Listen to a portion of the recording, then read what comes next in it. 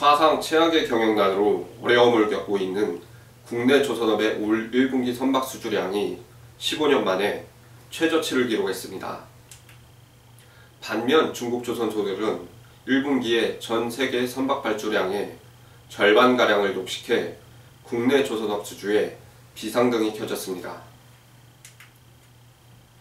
조선해운 분석기관 클락슨에 따르면 1분기 전 세계 선박 발주 77척 가운데 국내 조선사들의 수주량은 8척에 불과했습니다.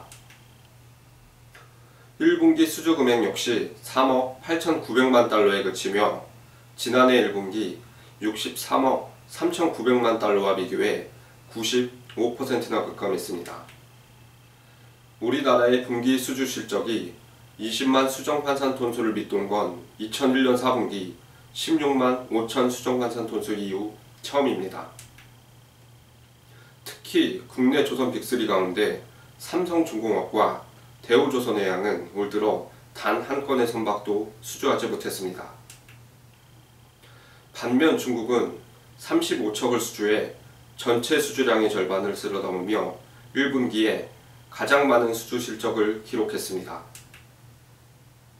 국내 조선업계는 2분기에도 수주 전망이 밝지 않아 당분간 실적 개선을 기대하기 어려울 것으로 내다봤습니다. KSG 뉴스 최정원입니다.